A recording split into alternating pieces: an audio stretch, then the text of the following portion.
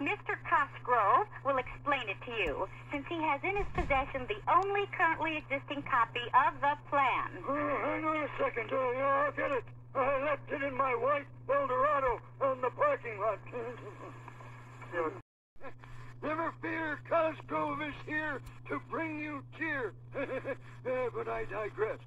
Uh, I'm here today to introduce you to the person who will introduce you to the person who will introduce you to the person. It's all very boring. But here he is now, our inspirational symbol, the American Eagle. You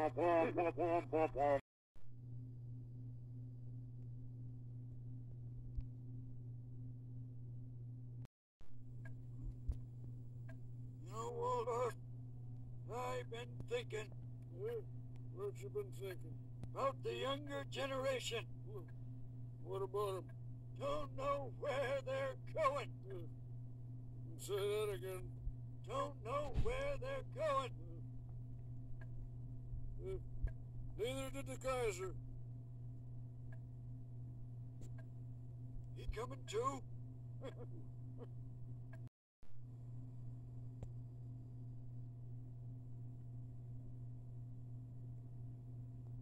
Waldorf, Yeah. either that clock has stopped or we've just died.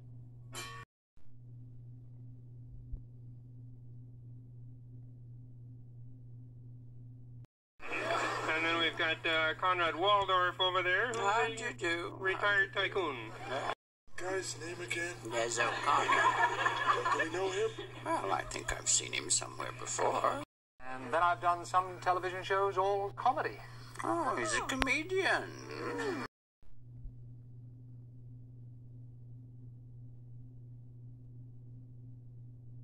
I love her. Well, that little bundle of talent's the only thing that'll keep this show going. Shall we shoot her now before she ruins everything? Oh, Yeah, they got up. We must have missed them. we didn't miss him. We were shooting blanks. We were? Of course.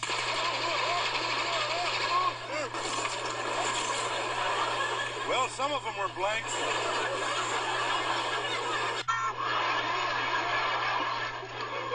You got it wrong again. Yeah, we're supposed to sit up here and throw things at you. Huh?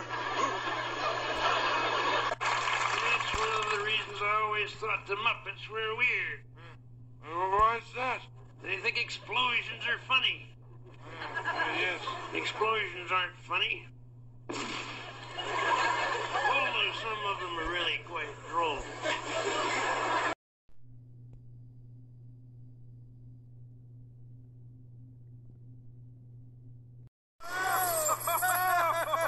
Oh, look! It's Ebenezer Scrooge! Oh. Looking older and more wicked than ever. I knew he wouldn't disappoint us. Ah!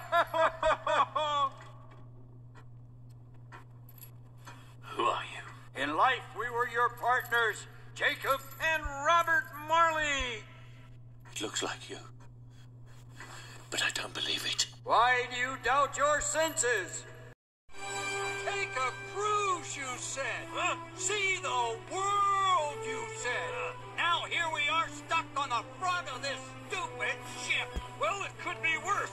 We could be stuck in the audience. I yesterday. Oh, yeah? Hmm. That's nothing. I cut all the fiber out of my diet. Good grief! You're a madman! Born to be wild, baby! Eat my dust! Eat your dust? If you were any older, you'd be dust!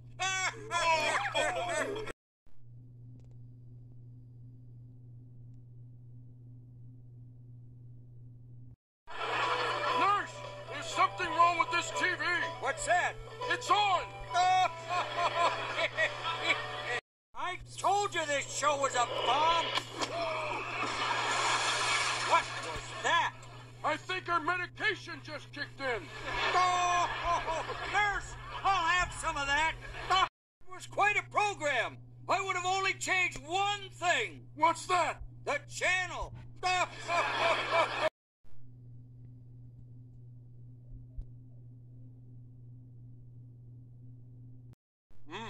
I've never seen anything like that before. And with any luck, I'll never see anything like it again. No!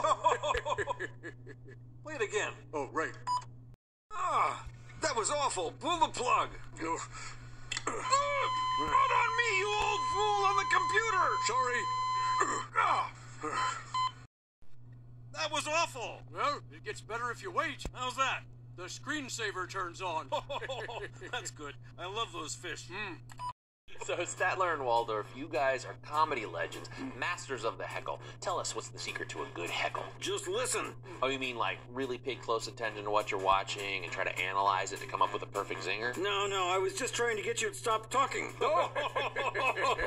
So you guys have had really long, successful careers. What would you do differently if you could go back in time? I'd fire the person who set up this interview. Uh, that was me, and uh, I'm a comedian on YouTube, so I don't work for you. Judging by the comments on your videos, you don't work for anybody. Hello,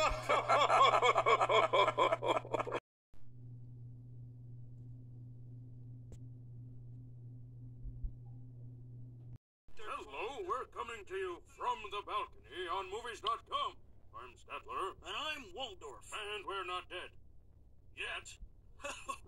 Each week, we'll tell you what to see and what to avoid. Avoid Paris Hilton. You know, I stayed there once. Who hasn't? Later in the show, some friends will be stopping by. And we'll give you our Oscar predictions. I can do that right now. Mhm. I predict boredom. Welcome to Statler and Waldorf from the balcony on Movies.com.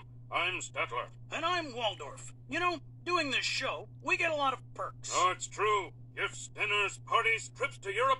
Try to get us to say something nice about their film. Movie studios will do anything. Yeah, anything but make a good movie. In honor of Halloween, here's a very special Movies.com Balconism. Today's balconism is runderwear.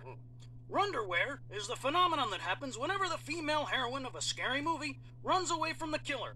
For some reason, she's always in her skivvies. Well, yes, like in Friday the 13th, hmm. Cabin Fever, and countless others. You know, if you were in your underwear, I think it'd be the killer who'd run for his life. Well, who says I wear underwear? Maybe I go commando.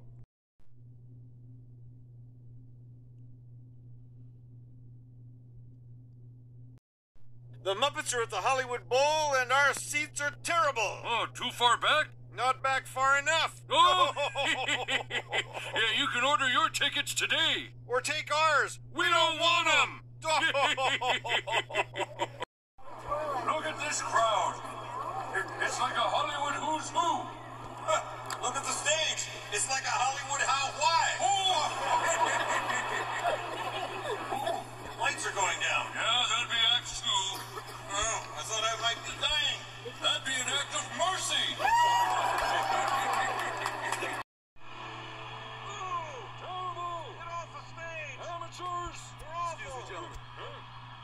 aren't the seats. Oh, looks like the Muppets finally did something we like. Oh, what's that? Made us leave. Oh, oh, oh, thank you, sir.